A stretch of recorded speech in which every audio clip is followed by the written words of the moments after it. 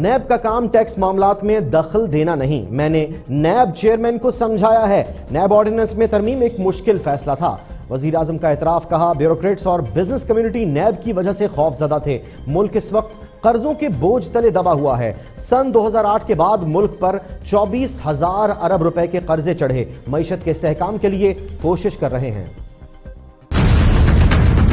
NAB کی ordinance کو change کرنے کی ضرورت نہیں۔ پرائم منسٹر کو چینج کرنے کی ضرورت ہے۔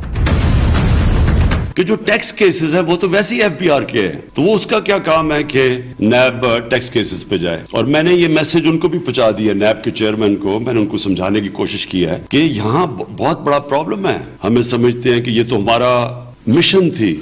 تو اس کے اندر بڑا مشکل فیصلہ تھا۔ بیوروکریٹس ڈرے ہوئے تھے نیب کی وجہ سے۔ اور اس میں کئی بڑے لیجٹمیٹ میں نے جو سنے بیوروکریٹ سے کمپلینٹس کئی بڑے لیجٹمیٹ تھے کہ ان لوگوں کو پکڑا گیا جو کہ ساری بیوروکریسی کے اندر ایک خوف چلا گیا کہ کوئی بھی پکڑا جا سکتا ہے بزنس کمیونٹی کو۔ اب بزنس کمیونٹی کا پہلے تو اگر بزنس کمیونٹی نیب کے پرویو میں آتی نہیں ہے، یہ ملک، یہ جو قرضوں کے بوجھ کے نیچے دبا ہوا ہے، پچھلے دس سال میں جو دو ہزار آٹھ سے اٹھارہ تک چوبیس ٹریلین روپے کے قرضے چڑھے ہیں پاکستان پہ۔